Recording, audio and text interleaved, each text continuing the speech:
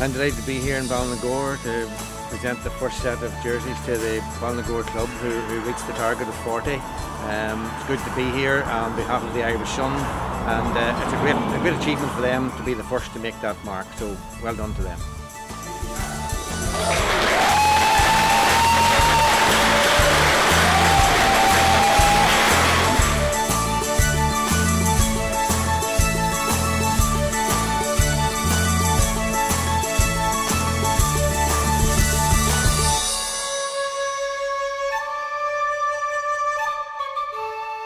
So that's really up to every individual to psych themselves positively. So you have to manage psyching.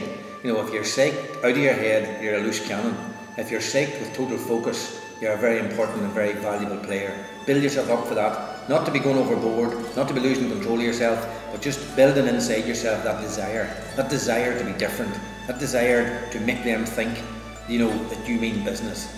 But also you must be really match alert, mentally alert, and not just waiting for the people in the middle of the field to do this. Everybody needs to be ready. You have to show them you're not easy, mate. Look at the way you walk, look at the way you're carrying yourself. Delighted, absolutely delighted to have partaken in the Irish Sun jersey promotion.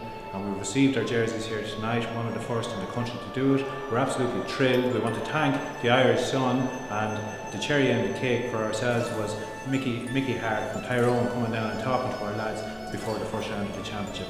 Absolutely brilliant promotion, thoroughly recommended and I wish to all the clubs that are taking part in it and any clubs, other clubs that might want to, to go for it.